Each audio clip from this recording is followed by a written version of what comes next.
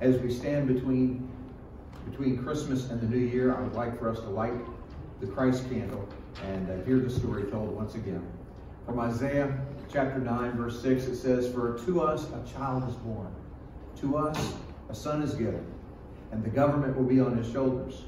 And he will be called Wonderful Counselor, Mighty God, Everlasting Father, Prince of Peace.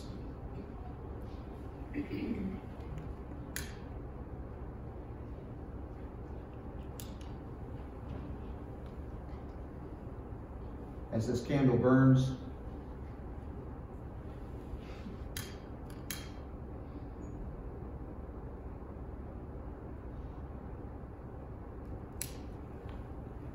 as this candle burns, let us let us look to that flame as a reminder of God's ever-present spirit. May it flicker in our lives and light us up that others may see God's light shining uh, in us and we might light this world. Let us go to our Lord in prayer at this time.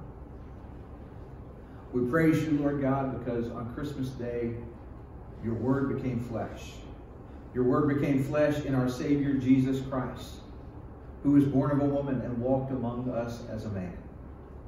Help us to imitate you, your incarnation by manifesting our faith in our conduct as well as in our speech.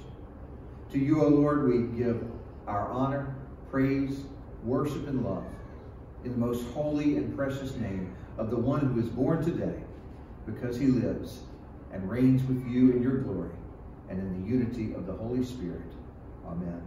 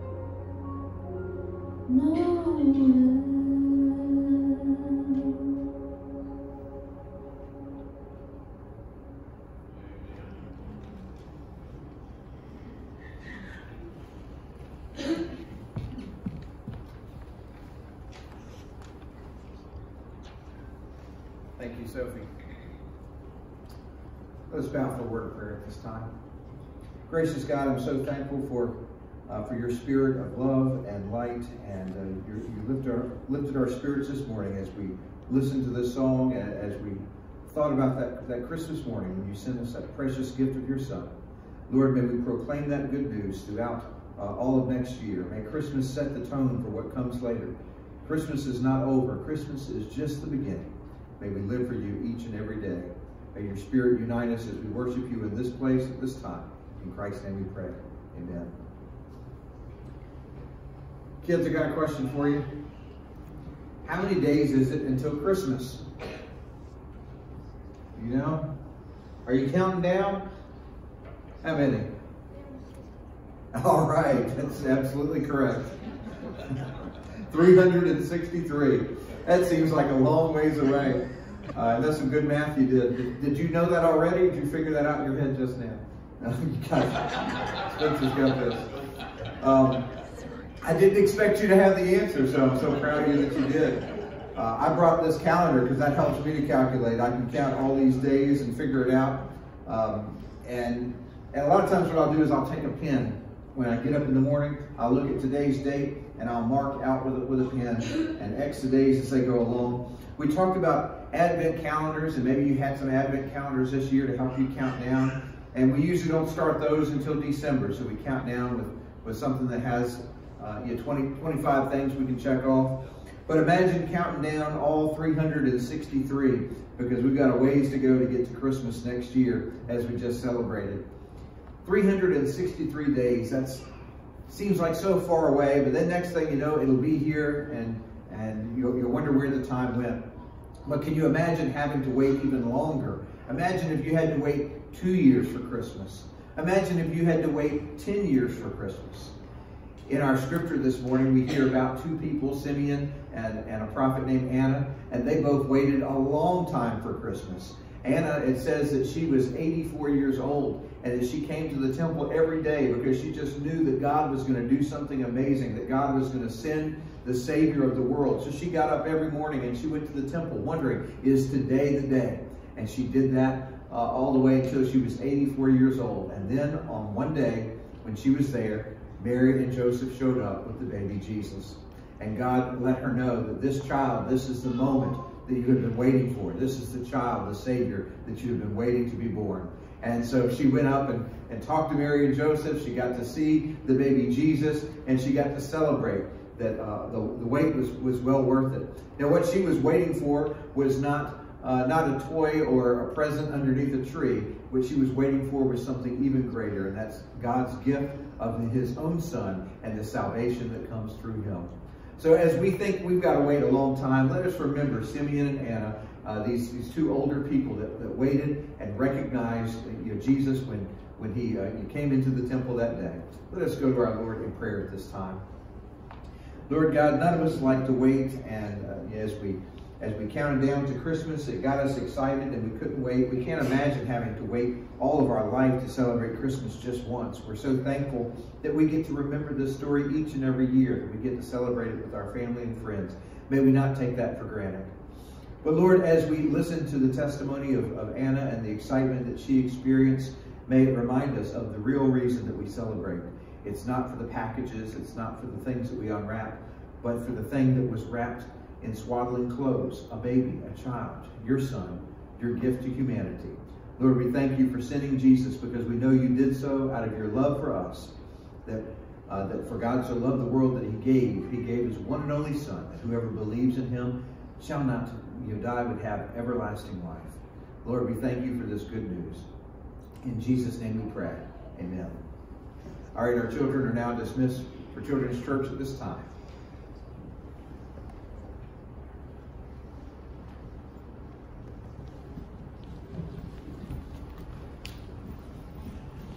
And our scripture comes from the Gospel of Luke, chapter 2, beginning with verses 22 through 24.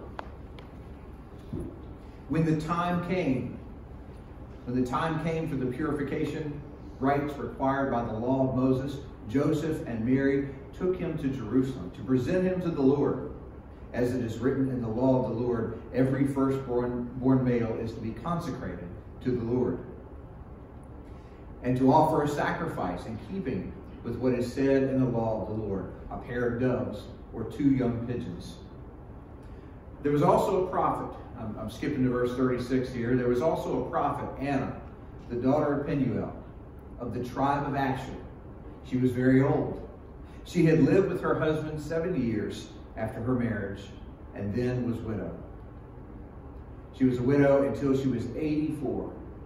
She never left the temple but worshiped night and day, fasting and praying. Coming up to them at that very moment, she gave thanks to God and spoke about the child to all who were looking forward to the redemption of Jerusalem.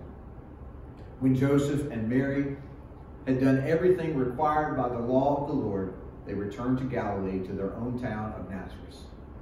And the child grew and became strong. He was filled with wisdom, and the grace of God was on him. May the Lord bless the reading of this word. I saw a video online, and it was a, an observation challenge. You know, as we go through life, we don't think about all the, the things that we see.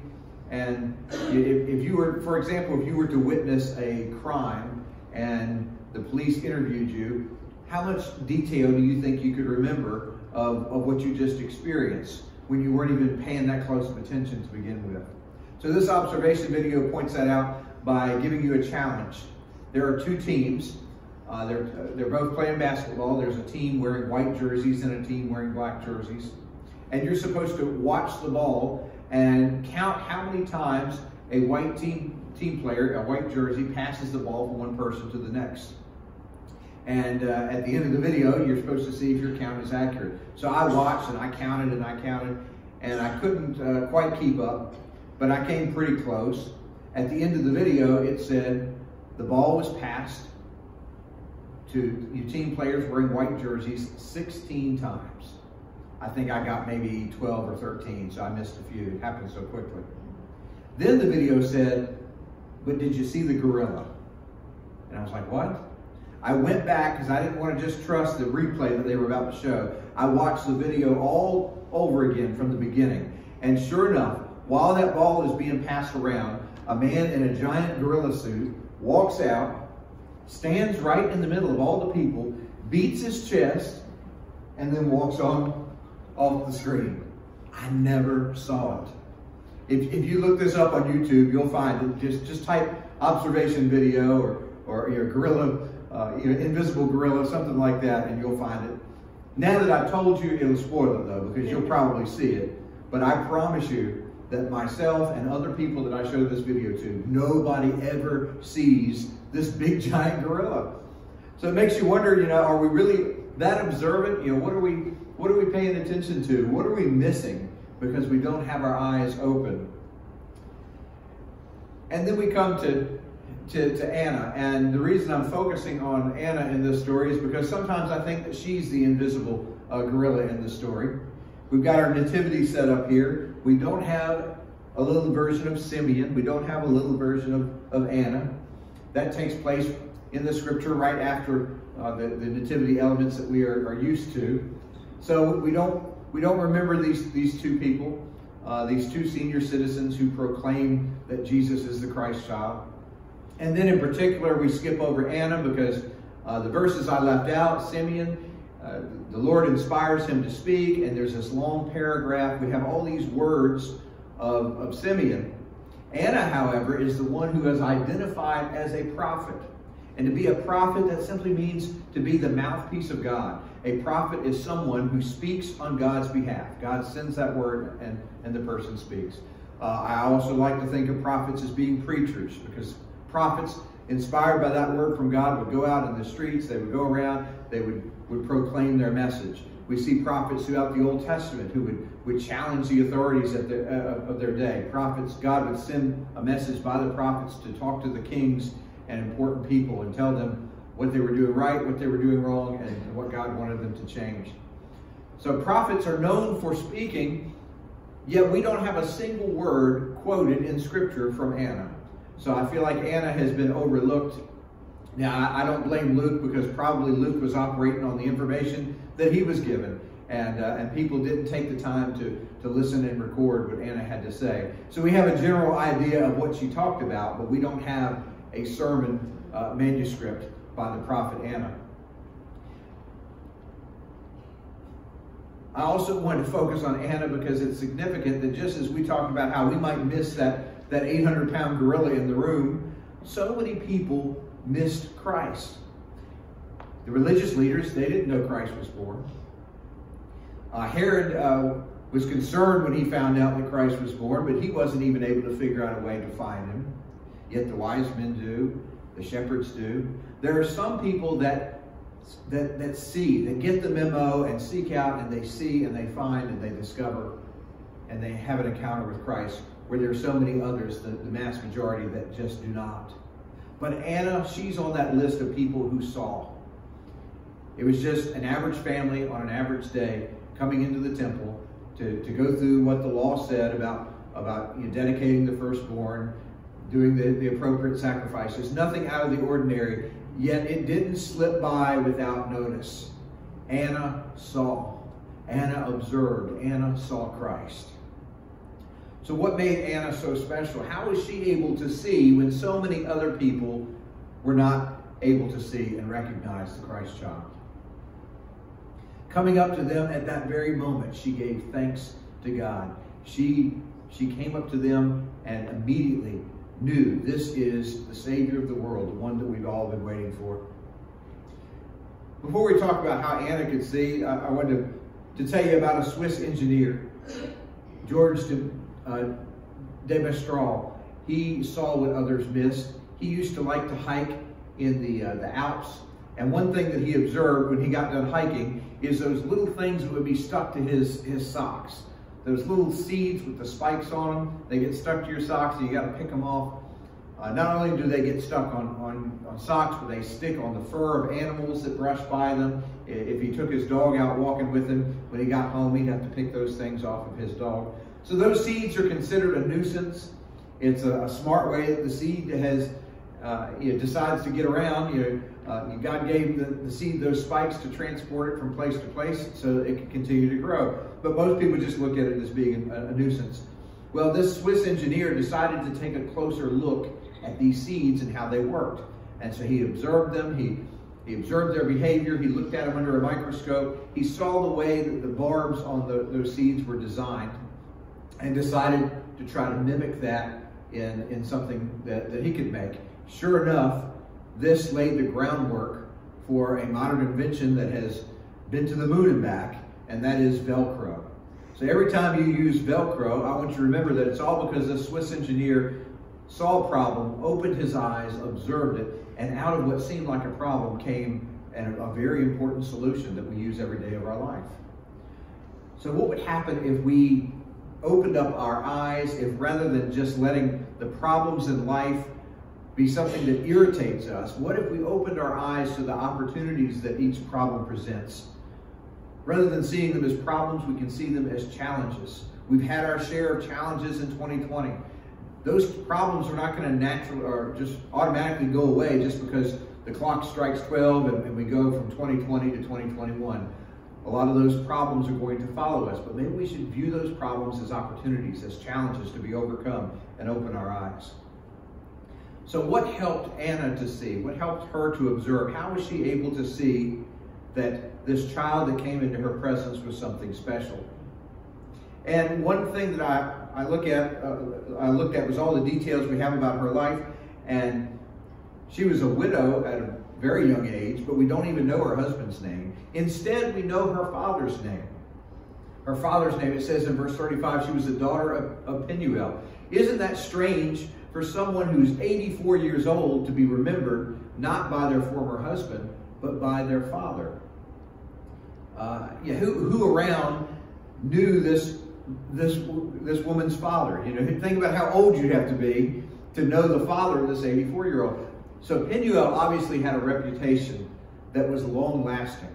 He had a long lasting impact on the community. I don't know much about him. I don't know much about Anna, but but I do know this: that the word Penuel has a meaning behind it, and uh, it means the face of God. And we see another place where it's a variation of, of a spelling of the same word. But in Genesis 32, we hear uh, this, this word come up again. So Jacob called the place Peniel, saying, It is because I saw God's face. I saw God face to face, and yet my life was spared. This is where Jacob wrestles with God. And so he names the place at basically the face of God because that's where he saw God face to face. I wonder if this then became a, a framework for how Anna's dad faced life. Was Anna's dad known as one who didn't shy away from challenges, but, but faced them head on? Was he one who wrestled with life? Was he one that wrestled with faith and doubts? Was he one that wrestled with God? Because he wasn't one who shied away from challenges, but embraced them knowing that, that God would help him through. And if this is the reputation that that Anna's father had, and then you looked at the look at the difficult life that she had, did she imitate her father in this trait as well? And maybe that's why this many years later that we remember her as Anna, the daughter of Penuel, one who also knows what it's like to wrestle with God. It's important to notice that that Anna had a good father a good mentor in her life, someone who, who set the example, someone who was a spiritual leader. If her father continued to embrace and wrestle with God his whole life, then he's probably the one that taught her to come to the temple, to be in God's presence, so you can be as close to the face of God as you, as you can get. So he was a spiritual leader in the household. For, for us men, that, that tells us that we need to, to make sure that we are setting the right example for, for our family, for our, our, our children, uh, for other family members that look to us as a role model. We need to, to be involved uh, in, in, in, the church. We need to, to make our faith known to those that we influence.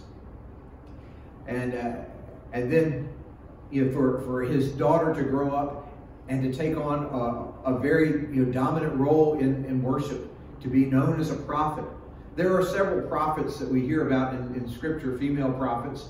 Um, but they, you know, certainly there are more male prophets than female prophets. For her to be remembered, it, she was a significant leader of the faith community in her day. She was remembered for her faith. She also remembered where she came from. We picked up on that in Scripture. It says that uh, that she was from the tribe of, of, Asher. So where does Asher come from? What does that tell us? Uh, back in Genesis 30, verse 12, it says, Leah's servant, uh, servant Zilpah bore Jacob a second son, then Leah said, How happy I am. The women will call me happy. So she named him Asher. The name Asher means happy. For, for Anna to be remembered as being from Asher, maybe she had a pleasant disposition. Maybe she was remembered not for the complaints and, or the negative attitude that she had, but for being a positive person, an encourager, someone that you could feel happy when you were around because you could see the joy in her life. But then you fast forward a few years and see what happened to the tribe of Asher. Asher was in the northern kingdom. The northern kingdom was taken over by the Assyrians long before the southern kingdoms uh, were taken over by, uh, by the Babylonians. So before the Babylonian exile, you had uh, Assyria taking out a lot of these, these northern tribes. Here she is in Jerusalem, where people are still remembering and retelling the history of the Babylonian exile. And she comes there with the history of her own people. She is, is is coming from a perspective of one who is very aware of, of the politics of her time, of, of the implications that, that Rome is still uh, over top of them, that they don't have their freedom or independence. This is why she is yearning for the coming of the Messiah.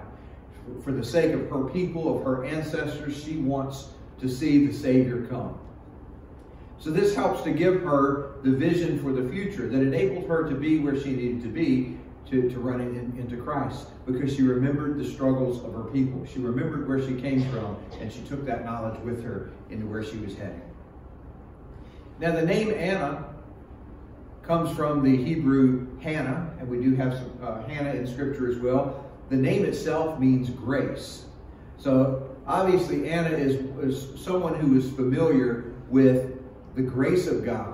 And, uh, and she enabled that enabled her to face the challenges in life when she made mistakes, she knew that she was covered by the grace of God that enabled her to get up each day and try harder the next. But it also causes me to think back to Hannah in Scripture. And in 1 Samuel 24 and, 28, we hear this. Uh, after he was weaned, she took the boy, this is uh, the she here is Hannah, she took the boy with her, young as he was, along with, with a three-year-old bull and an ephah of flour and a skin of wine, and brought him to the house of the Lord at Shiloh. And then it goes on to say, So now I give him to the Lord. For his whole life he will be given over to the Lord. This is the scene where Samuel, the firstborn of Hannah, is consecrated to the Lord. And that's the exact setting of what is taking place here in Scripture, that Jesus, like Samuel, is being consecrated to the Lord. And like Samuel, he would be given to the Lord in service for the rest of his life the fact that Anna is the one that recognized this, I imagine that she probably was very familiar with the story of Hannah in the Old Testament. I know I know everything uh, about Philip in the Bible just because my name is Philip. If you have a biblical name, you probably know some things about the biblical character that you're named after. Wish she would have known this story. It probably would have grieved her a bit because she was so young when, when she became a widow that, that she might not have had an opportunity to have a family herself. So was she robbed of that experience as she went to the temple each and every day? Did she see families coming in and celebrating, consecrating their firstborn and feel like she was left out of that? But regardless, she took notice and it gave her the eyes to see. Once again, here is a family that is consecrating a child, but this time it's different because she, she was led to see that it was the Christ child. Life did not come easy to her. As, as we've already heard, she was widowed at a young age. She probably had a lot of financial concerns. She had a lot of struggles in life. Life was hard on her. Life was probably took its toll on her you physically. Yet she she continued to push forward. The fact that she was able to be at the temple every day at her age, it meant that that she was in pretty good health. That she pushed herself. She she did the physical therapy. She probably walked there. You know, she wouldn't have had a car to get there, so she did all that she could to be in shape so that she could be there for worship.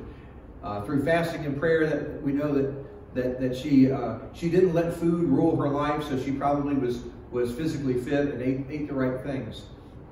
But life did not come easy for her. She had to, to exercise and work hard to be where she was. Uh, she had lived with her husband seven years after after her marriage and then was a widow until she was 84. So for, for all those years, she's had to fend for herself. She became a very strong and independent woman through the, the hardship that she experienced. So looking back on those hard years, she would say, oh, that's, that's what created me. That's what developed me into the person I am today. Let me tell you about the Mario effect. When I was a kid, I got uh, a Nintendo and started playing Super Mario. And the, the thing that's neat about that is that you come across an obstacle, and if you fail, you get to try it again and, and, and the challenge of, of the game of trying to overcome one obstacle after the other, knowing that I can always just you know, hit restart and try it again and again until I get it right, that's what keeps you going. Life is full of obstacles. What if we approach life like a video game? What if we approach life knowing that, okay, I'm going to have obstacles in my pathway today, and sometimes I'm going to get it right, and sometimes I'm going to get, get it wrong. And when I get it wrong, that's not devastating. That is a, a lesson. That is an opportunity for me to come back tomorrow and try it again. If we had that type of attitude, if we had the, the Super Mario effect in our daily life, it would help us to keep pushing forward when life uh, tries to knock us down. Anna had this type of approach to life. That's how she survived 84 years of being an independent woman and, and facing each day with its, with its challenges with a positive attitude. You see, we have this idea of how we think life is going to be. On that top image there, you know, this is your, your idea of your plan for life. You know, this is what I'm going to do, this is how I'm going to get there, and everything is going to go smoothly. This is what we hope happens. But then in the picture beneath it, this is what reality tends to look like instead. Can you relate to that? And, and we might get up, be, be upset. Why couldn't why couldn't things go according to our plan? And when things don't go according to our plan, we get all bent out of shape. But if you were to play a video game, which of these two scenarios would be the more interesting video game? Which of these two scenarios would sharpen your skills and prepare you better for the next challenge? Naturally, the bottom. And so life looks more like, like the bottom. We might not understand uh, why we're going through this difficulty at the time, but when we look back, we can see the, the things that it taught us and have made us a better person. So may we have a positive attitude even in the midst of, of struggles, the way Anna did, because it might help us to get to that finish line and, and be a stronger person because of it. Anna was able to see what others did not see because she positioned herself. She positioned herself to receive a word from God. She positioned herself to be there when God acted. Uh, we, we just went through Black Friday sales, and it was different for a lot of people this year. A lot of people did most of their shopping online, so you were robbed of that experience and standing in long lines. One tradition every year at places like Best Buy and other stores that have those special sales is that people will actually camp out. They'll set up tents and camp out uh, you know, the night before so they can be there bright and early. They want to position themselves so they can be in the queue line and get that item that they want. Well, that is what uh, Anna did by, by worshiping in the temple day and night. She wanted to be there. She, she knew that God was going to act in her lifetime, and she didn't want to miss it. So she positioned herself to, to be in the optimal position to receive a word from the Lord. She never left the temple, but worshiped night and day. She didn't allow her age to be an excuse. She could have said, Well, I'm 84 and I'm just going to sleep in today. She could have done that, and if she'd have done that the day that Mary and Joseph came, she'd have missed out on a great blessing. But instead, she, she allowed the purpose that she received from, from worshiping God and, and, and being God's prophet, she allowed that purpose to motivate her to get up uh, each and every day. That's what kept her going. She outlived so many of her peers because she, she received that purpose from her Lord and it kept her, her going each and every day. Uh, she also connected with like-minded believers. Once she discovered that the Christ child was in her presence, she didn't keep that a secret and said it says she spoke about the child to all who were looking forward to the redemption of Jerusalem. She began by going to people that that she knew. You know, how did she know how did she know that the people she talked to were looking forward to the redemption of Jerusalem? These weren't strangers. These were people that she had had conversations with over and over. Maybe she began with a small group that would be equivalent to our, our Sunday school classes. So she went and she talked to her Sunday school class members because they had had these conversations. They were looking forward to the redemption of Jerusalem. Maybe she had gotten into a discussion out in the temple courts with some of her neighbors, and she knew that they too were looking forward to the redemption of Jerusalem by being a part of, of, of a, a group of fellow believers that sharpened each other, that discussed each and every week. She knew who to turn to. And so she surrounded herself with like minded believers to help her stay on track and to, and to keep her eyes open as well. That's why it's important that we come together. It's important that, that we not try to, to, to worship God in, in, in complete isolation, but that we connect and bounce our ideas off of our, our family, our friends, our church family, that we be part of, of, of small groups and, and, and take things like Sunday school class seriously because it helps us to open our eyes and we might not miss what God is doing right in front of us. She prayed. If she had not had an active prayer life, then she could not have been a prophet. She could not have, have had detected the movement of the Spirit that led her to that family at that particular moment. How is your prayer life? Do you only pray when you need something, or do you pray every day? We need to pray every day so that we can be ready to receive that message from the Lord whenever He sends it and shares it with us. Fasting and praying. So she took it very seriously. She, she fasted, which means that she not only prayed with her mind, but she involved her entire uh, body. Uh, in, in all that she did, she lived a life of prayer. And she gave thanks. She lived a life of thanksgiving. That's what helped her to face obstacles uh, and, and, and to, to worship and, and, praise God for all the good things that He did. She had something every day that she could go to that temple and thank Him for. And it says she gave thanks to God when she realized that the Christ child had been, been, been born and given to the world. Verse 38, she gave thanks to God. We should take a lesson there too and live lives of thanksgiving. We prepared for Christmas by celebrating first Thanksgiving. And we see Anna doing the very same thing. She celebrated Christmas through Thanksgiving.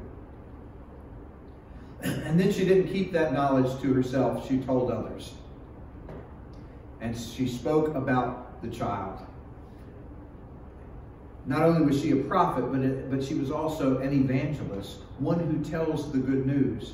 And that should inspire each and every one of us. The way we should respond to Christmas is by telling others not just by hoarding the blessings for ourselves. Christmas is not about the packages we received and filling up our drawers with more useless junk. It's about receiving the good news that we might go out and tell others. Who do you need to tell? Who, who can you share the good news with in the upcoming year that it might make a difference in their life? What am I going to say when I get there? She didn't worry about that. Her speech was God empowered. There was also a prophet Anna. To be called a prophet means one who is a mouthpiece of, uh, of God, one who receives a message and then proclaims that message. God will give you the words to speak when you are willing to be a vessel of his good news and to go out and share that good news. In the Old Testament, it says, I will pour out my spirit on all people. Your sons and daughters will prophesy. Your old men will dream dreams. Your young men will see visions. This scripture is quoted later by Peter when he's trying to explain what, what he sees happening in the, on the day of Pentecost. When he hears God's words being proclaimed and the good news being spoken by people young and old, by male and female, by people of all walks of life. This was promised in the Old Testament, and we see the fulfillment here in Anna. We see it later in the daughters of, of Philip. We see it as, as women became significant leaders in the church as we read uh, through the scriptures and as we study church history. I will pour out my spirit on all people. The fact that it's not just Simeon who delivers this news to us uh, in Luke, Luke chapter 2, but that Luke would include both Simeon and Anna is to remind us that, we, that, that God's message is all inclusive, that it's for all people, that it's delivered by all people. And then that comes to us.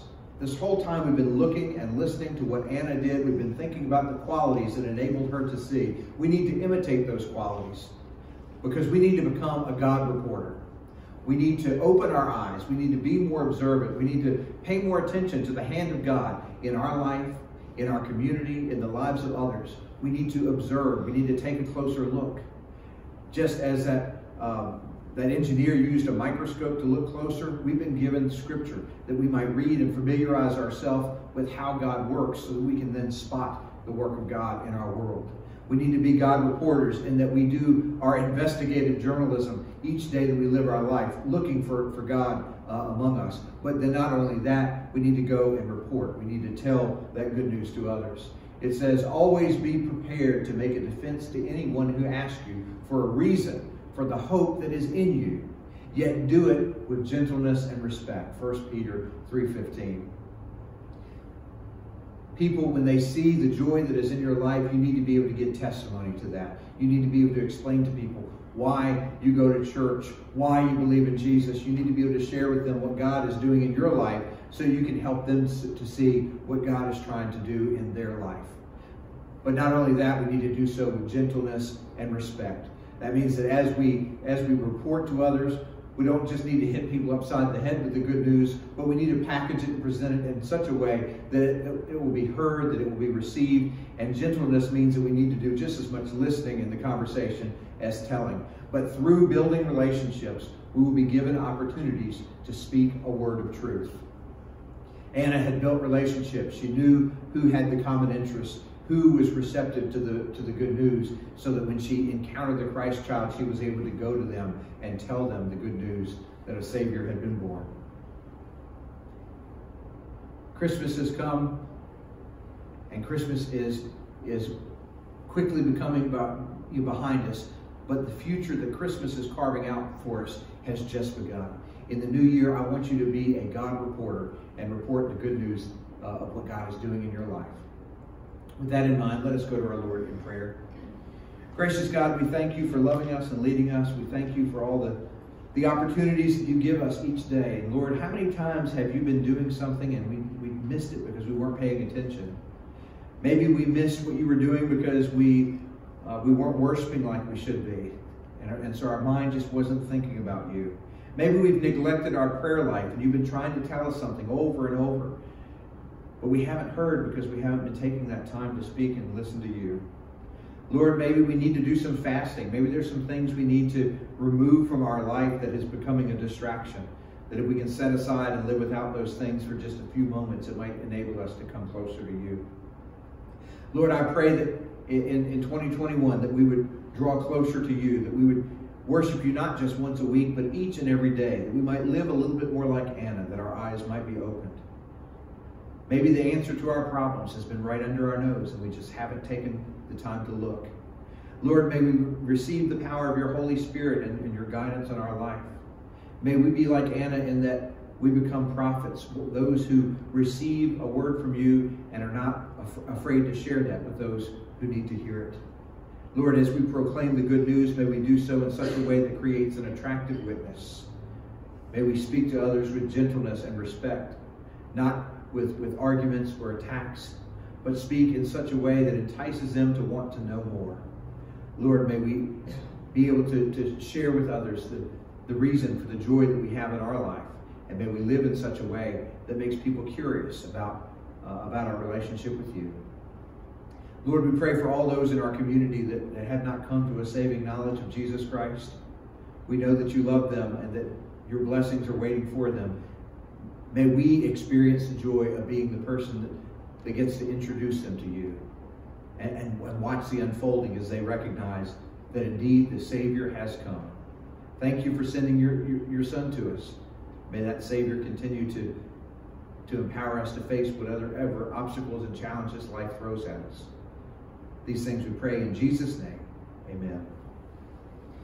As we sing our closing hymn, Angels from the Realm of Glory, if you have never made the decision to accept the Lord as your personal Lord and Savior, we encourage you to come forward and receive baptism in this church. If you're already a baptized believer and would like to transfer your, your membership, we would welcome you with open arms into this family of faith. Regardless, all of us, as we sing this song, may we reflect on our need to be God reporters and spread the good news beyond these church walls. Let us stand as we sing.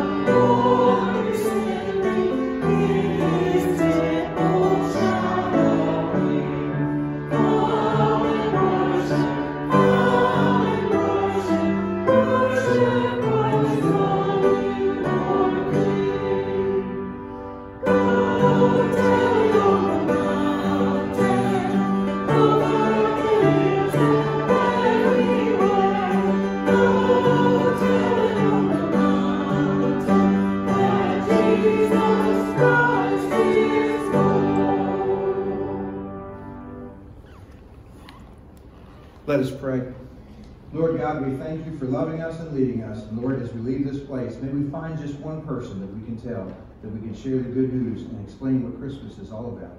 In Jesus' name we pray. Amen.